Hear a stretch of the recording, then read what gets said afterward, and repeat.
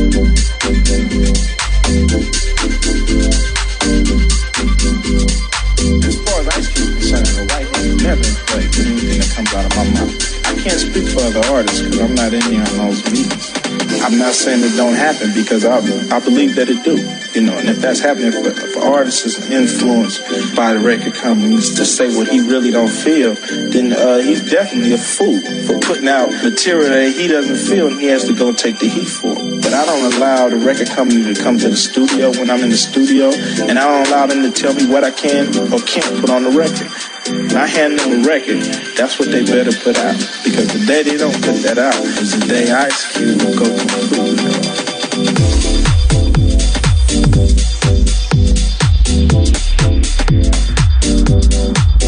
Hello, we're the local option. And you're listening to the Beat Sessions with Chewy Vega.